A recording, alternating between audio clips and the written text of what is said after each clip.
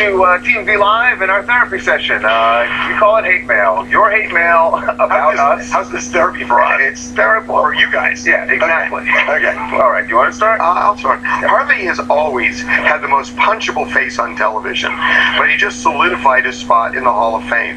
Stop being such a douche. Great. Charles, where they were not specific as to what.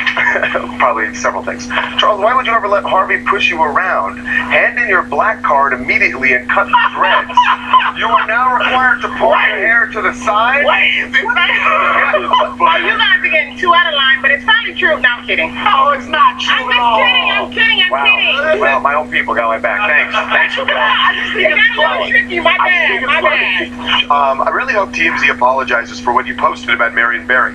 It's really sad you would say something like that about someone who passed that meant so much to so many people here in D.C. It's wrong, TMZ. Oh, look, I mean, we uh, we have said. I mean, I know this caused a huge thing. We tried to explain that you know outside of D.C.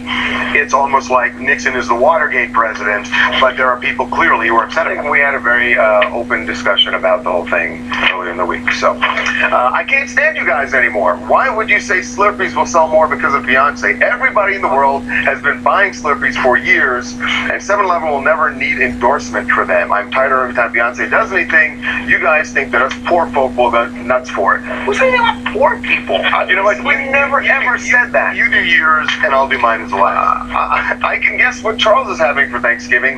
Weed. LOL. Rasta Rasta giving is the best. It makes my family slightly more tolerable. And finally, Way too much laughter in the room.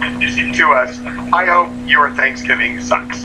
Oh, I can't disagree with that after what you left. Have a have a great Thanksgiving, everybody.